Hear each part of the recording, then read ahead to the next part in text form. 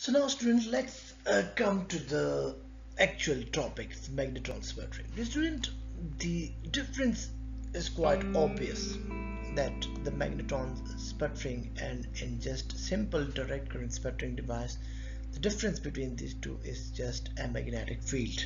So the magnetron sputtering basically use a magnetic field to confine the ionized ion near the surface of the source or target material and so the maximum amount of the ion basically bombard the target or surface uh, target or source material surface due to a magnetic field. Hence the maximum amount of the uh, target or source material is basically sputtered or is basically removed uh, from the surface of the source material whereas in case of general direct current or planar mm, uh, sputtering uh, devices don't have magnetic field so they basically sputter minimum uh, amount of the uh, source material as compared to the magnetron uh, sputtering in, uh, instruments.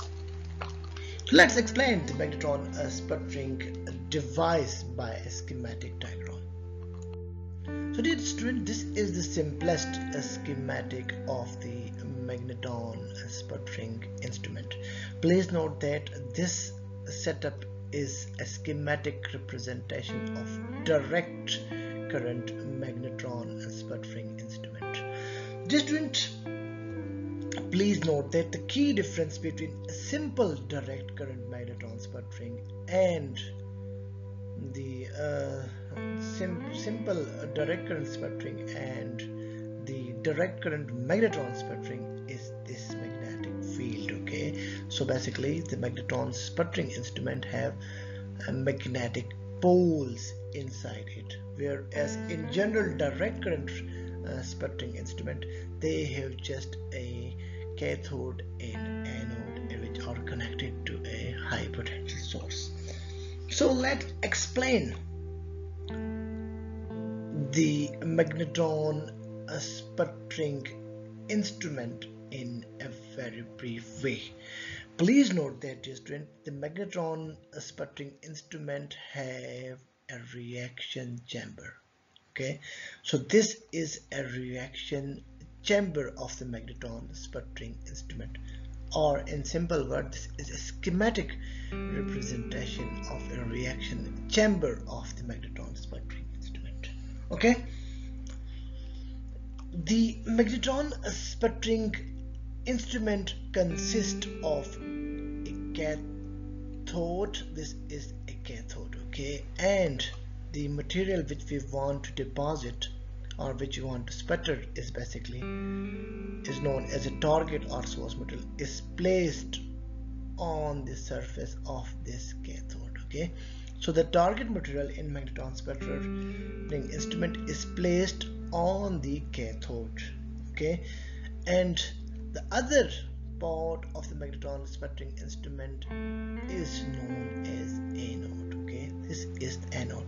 Anode is the positively charged part of the magnetron sputtering instrument whereas the cathode is negatively charged part of the magnetron sputtering instrument okay so please note that the cathode and anode are connected with direct current okay?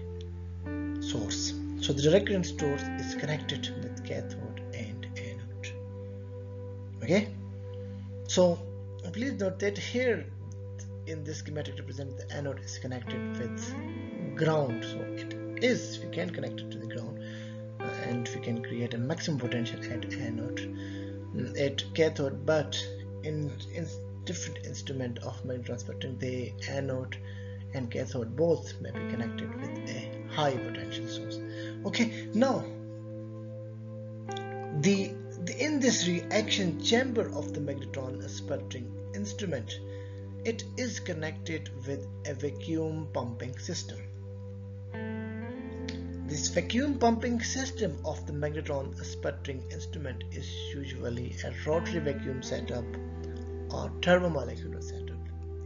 There could be a possibility of diffusion pumping system, but they usually cause the impurities due to a vacuum, due to an oil which are basically used in those pumping systems. So mm, mostly those turbine uh, the those vacuum uh, pumping systems are avoided which are basically creating oil in or vapors inside the reaction chamber. So the reaction chamber of the magnetron sputtering instrument is connected with a vacuum pump which basically create a vacuum around 10 raised to power minus 6 torr inside the reaction chamber of the magnetron sputtering instrument. Okay so now after creating a vacuum inside the magnetron sputtering reaction chamber the case which is basically an inert case is incorporated inside the reaction chamber of the magnetron sputtering instrument. Okay so when the gas is incorporated which is basically an inert gas incorporated inside the reaction chamber the high potential is applied across the cathode and anode of the reaction chamber okay? So this is basically a gas which is which is incorporated inside the reaction uh, chamber. So when the high potential which is in form of direct current is applied inside the reaction chamber on between the cathode and anode this high potential will result in ionization. This, this gas will basically ionize uh, ionization ionize and this ionized gas basically have a positive charge. This blue one okay so this has a positive charge and whereas the yellow one is inert gas okay so this yellow one yellow these circular yellows basically they get ionized and they are converted into an ion. This is the bluish one or, or grayish one. So they basically these ions have a positively charged so when the inert gas when the potential is high potential is applied across the cathode and anode the gas which is inert one the yellow one get ionized and it's converted into positive and negative ions. The this purple one basically or bluish one represent positively ion. so when the inert gas get ionized due to a higher potential applied across the cathode and anode this ionized inert gas will have a positively charge and it will travel toward the cathode so dear student you know that opposite polarity basically in uh, charges basically interact with each other so these ion will travel toward the cathode and cathode has target or source material. So when the positively ion interact or bombarded onto a target and source material they basically remove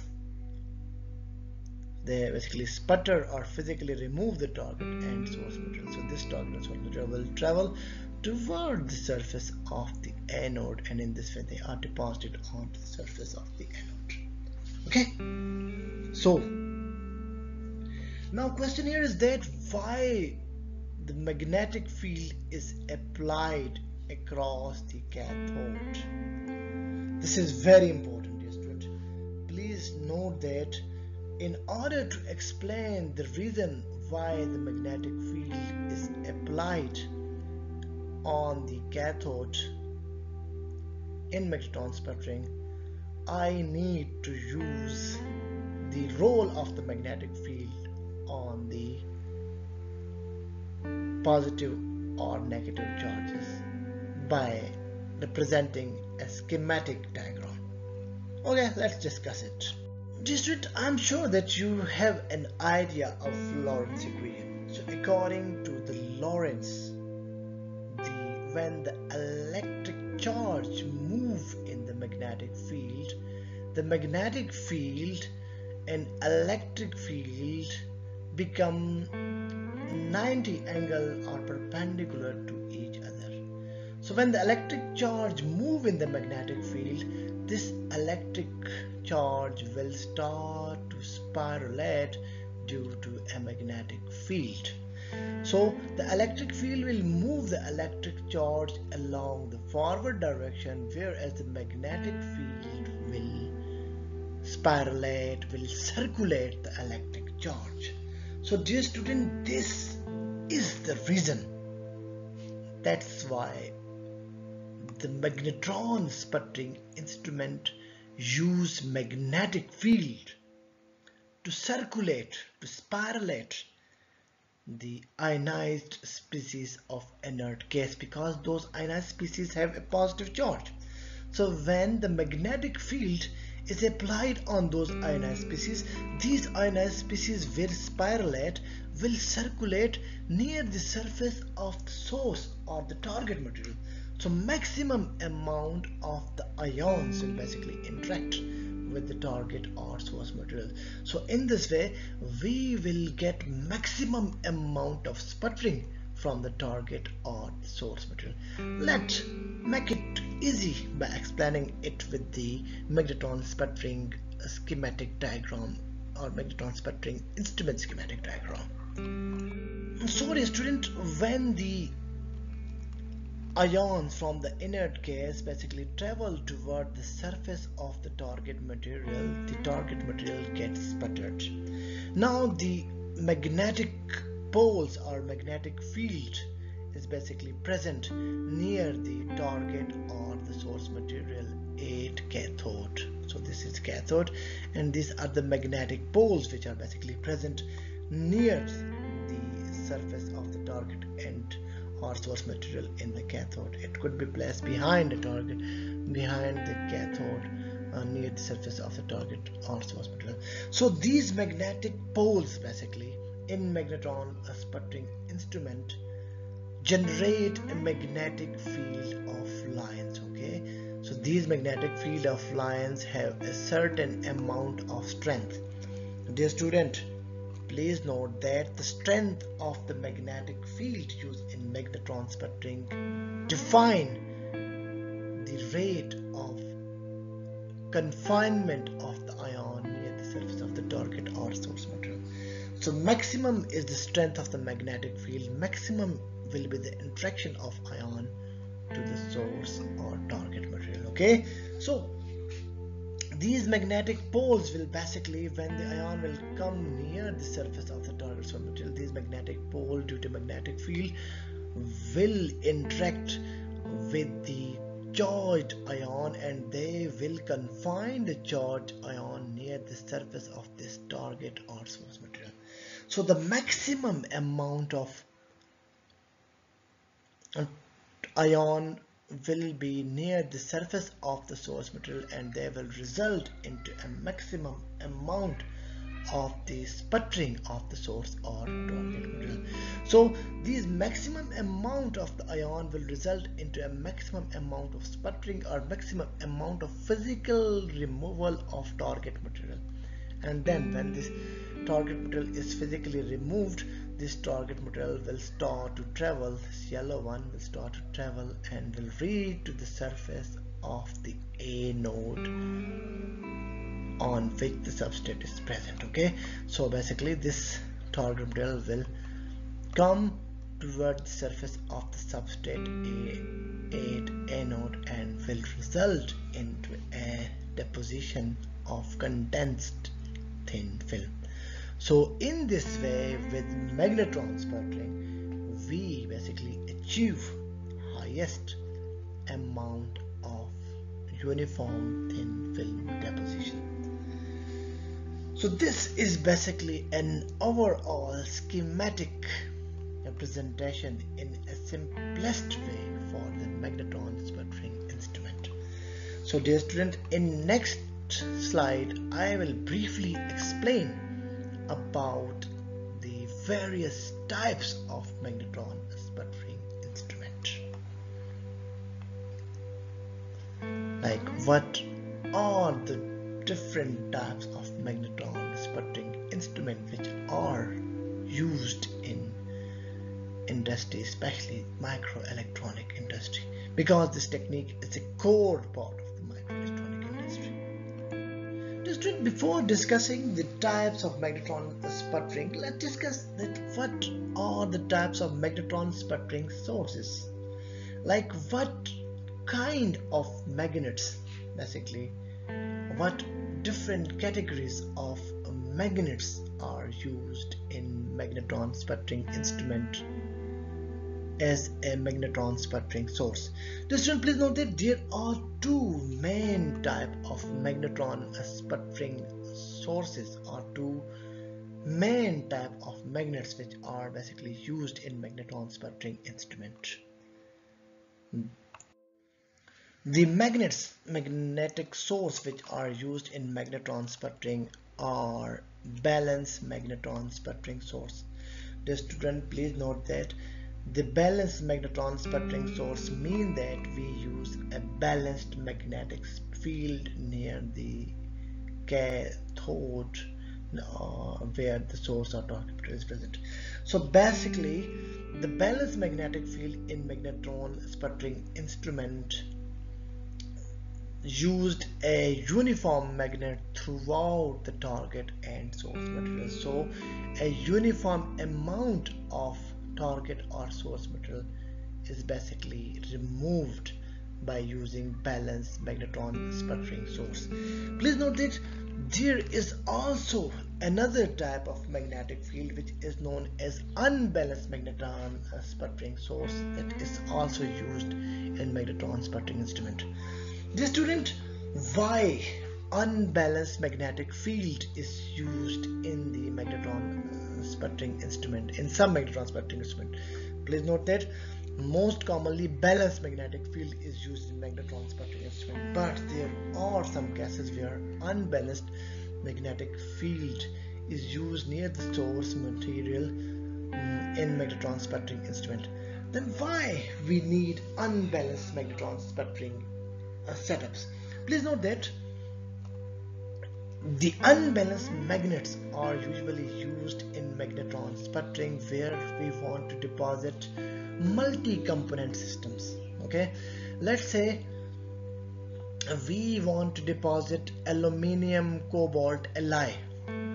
So the source material which is placed at the cathode have aluminium and cobalt in a separate pocket near the or on the cathode.